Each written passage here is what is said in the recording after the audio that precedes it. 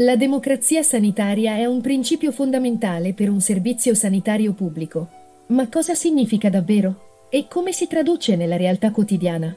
Liste d'attesa, definanziamento del servizio pubblico, sanità territoriale desertificata. In molte zone d'Italia si è costretti ad attendere mesi, a volte anche anni, per una visita specialistica o un intervento chirurgico, soprattutto dopo il primo periodo Covid.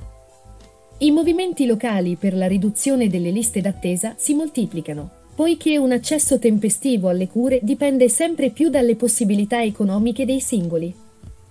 Le attuali difficoltà sono anche determinate da una continua riduzione del finanziamento, soprattutto ai servizi pubblici, e dal fatto che la sanità del territorio è stata desertificata.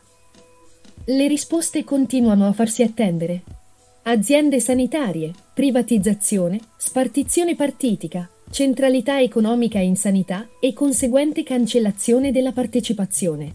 La creazione delle aziende nella sanità ha portato alla nascita di una figura monocratica, il direttore generale, indicato direttamente dalle maggioranze politiche. Questi ha il potere di gestire le risorse in modo autonomo e il mandato di gestire la sanità con il fine esclusivo del pareggio di bilancio.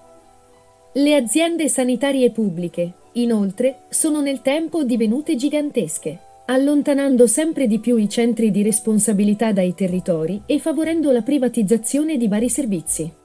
La privatizzazione dello stesso Servizio Sanitario Nazionale Pubblico è già iniziata. Esternalizzazioni, medici e infermieri a gettone, pronto soccorso privati.